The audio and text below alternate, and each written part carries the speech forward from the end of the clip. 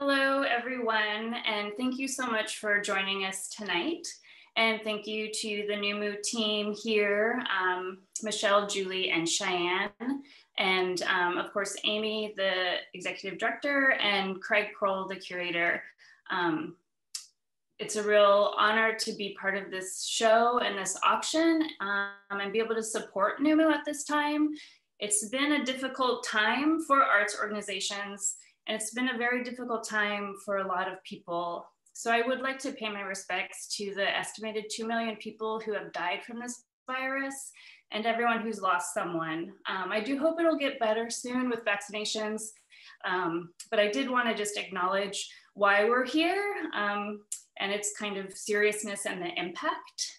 Um, and that being said, um, onto the art. So uh, the work that I did for this exhibition is called Going, Going, Gone and it is about the plight of the pangolin. The pangolin entered the news early on in the pandemic when it was linked as a possible transmitter for the virus between bats and humans.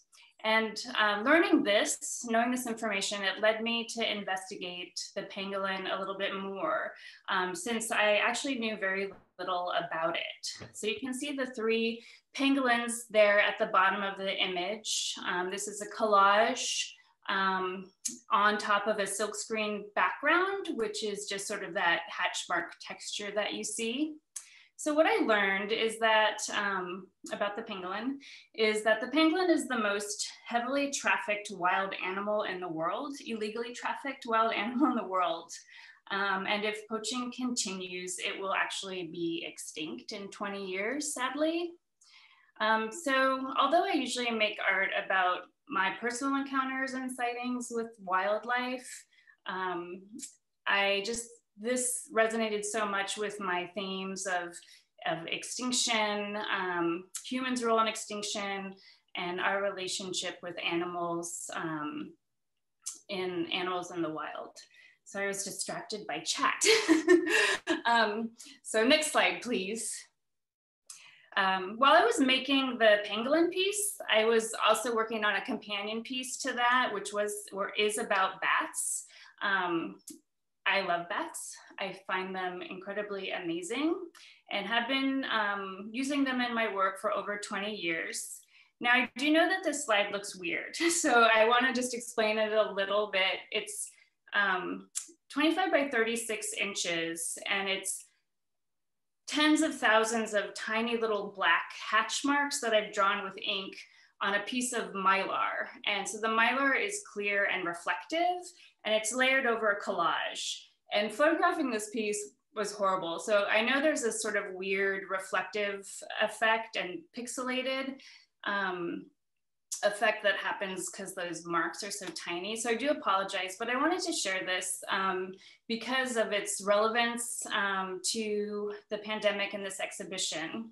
So this piece is called Deforestation. And um, I used to love the movie Contagion.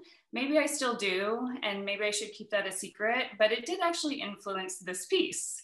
Um, and in April of 2020, so right after um, we were all in lockdown and, and things were getting um, intense, I read an NPR article about the accuracy of that movie. Um, and in the article, Rebecca Katz, who is the director of the Center for Global Health and Science and Security at Georgetown University, um, said that she often shows the film's ending to her students in her class on emerging infectious disease.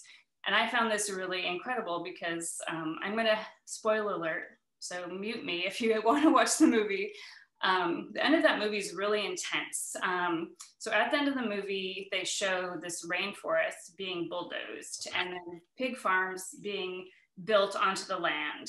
And of course, the displaced bats move into the buildings for the pigs and transfer the deadly virus. Um, so Katz says, and I'll read this quote, um, I showed the last few minutes of contagion to my class to show the interconnected interconnectedness between animals, the environment, and humans. So I am also incredibly interested in that interconnectedness. Um, that is what my work has been about um, ever since I started a serious art practice.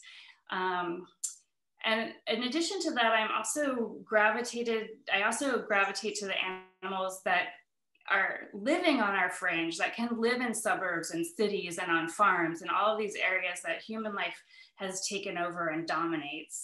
Um, and also, it's interesting to me that we find these animals so often gross or scary um, or pests. so I just, I'm fascinated with that relationship. Um, so next slide, please. So I just wanted to show these two pieces that relate to that. Um, and this is work, this is a series of work called Coyote Sightings.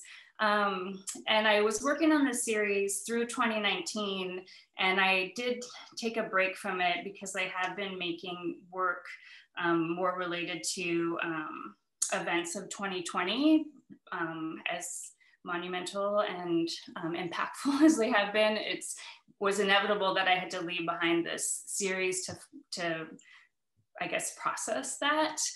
But I just wanted to show these because they do relate to the um, subject matters that I'm drawn to in my work um, in relation to the pandemic um, and also in, um, in my technique. So um, these are also screen print backgrounds with collage on top and some drawing, and you can see some hatch mark making um, in the work on the left. So these um, pieces do illustrate actual coyote sightings that I've had um, since moving to the Palo Alto Stanford um, area of the peninsula. Um, on the very first day I moved here, I saw a coyote close to my home. And of course that just like made my day and lit up my life. And very soon thereafter, I realized that a small pack of three coyotes were making their home um, in some open space tracks right behind um, my street. And um, I made a point of um, trying to see them as much as possible and learn about them and their behaviors and how they lived so close to us and in association with us.